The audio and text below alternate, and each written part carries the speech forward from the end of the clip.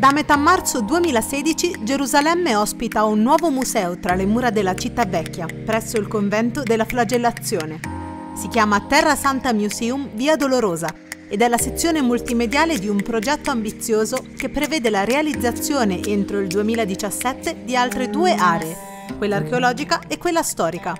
È pensata soprattutto per i pellegrini che vengono qui e vogliono scoprire che cos'è la Via Dolorosa, dove si trova, perché si trova all'interno del mercato della città adesso e con questa installazione multimediale in 15 minuti un pellegrino ma anche un visitatore normale può capire dove si trova e dove da tutto, tutto è cominciato.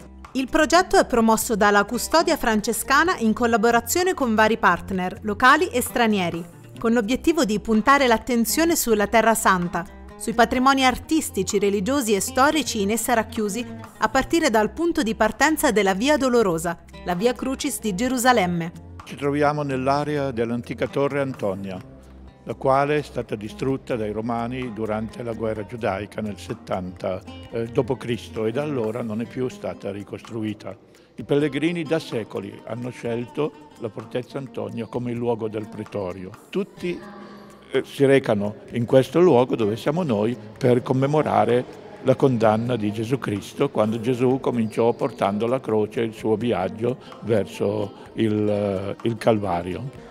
La cosa straordinaria è che nel luogo in cui svolgiamo eh, l'installazione multimediale è anche il luogo dove sono venuti alla luce i reperti archeologici. Quindi noi partiamo in questa eh, emotiva comunicazione dentro un luogo di altissimo valore storico e archeologico. Il pellegrino ehm, veramente qui in questo luogo si eh, renderà conto no, del percorso e dei passi che ha fatto la storia attraverso proprio dei segni che sono quelli delle pietre che sono collocati nei punti salienti di questo spazio e attraverso proprio i frammenti delle varie architetture da Erode a Adriano fino a quelle dei crociati si capirà da parte di tutti come no, si è evoluta la storia di questo luogo e della città.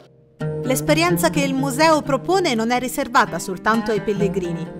Se da un lato offre la possibilità di immedesimarsi con i fatti della passione, morte e resurrezione di Gesù, dall'altro offre una prospettiva storica e artistica inedite della città, grazie anche ad un accurato lavoro di ricerca e di utilizzo di fonti storiche e letterarie. I luoghi della devozione cristiana sono luoghi che appartengono di diritto alla, mh, alla identità della città di Gerusalemme.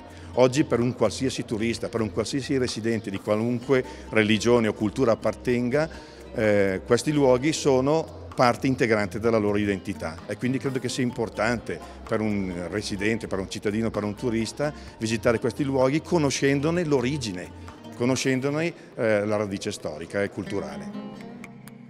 La visita, fruibile in otto lingue diverse, dura 15 minuti e si sviluppa in tre fasi che mescolano l'esperienza multimediale con quella concreta di un sito archeologico.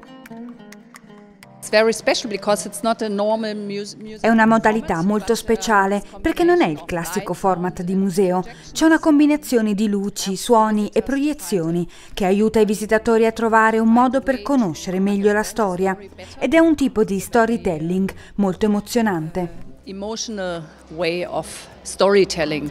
Il museo è aperto tutti i giorni dalle 8 alle 17 o alle 18 nell'orario estivo si può prenotare attraverso il Franciscan Pilgrims Office o tramite il sito del museo che è www.terrasanctamuseum.org.